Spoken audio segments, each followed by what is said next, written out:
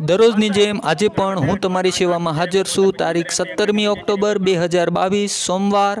અને સાવરકુંડલા માર્કેટયાર્ડના કપાસ, મગફળી, તલ, ચણાના તાજા ભાવની અપડેટ આ પ્રમાણે રહી. જોતા રહો અને બીજા તાલુકાના અને જિલ્લાના ખેડૂત ભાઈઓને પણ પહોંચાડતા રહો.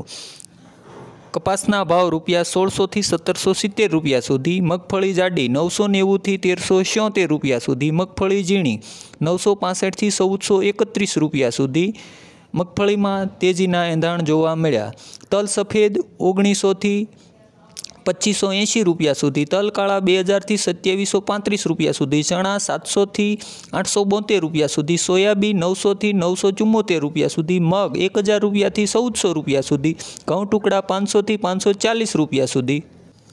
સાવરકુંડલા માર્કેટયાર્ડના જણાવ્યા પ્રમાણે, આગામી દિવાળીના તહેવારો નિમિત્તે બાવીસ દસથી અઠ્યાવીસ દસ એટલે કે શનિવારથી શુક્રવાર સાત દિવસ હરાજીનું કામકાજ બંધ રહેશે. ઓગણત્રીસ દસ તારીખે માત્ર લાભ પાસમનું મુહૂર્ત થશે.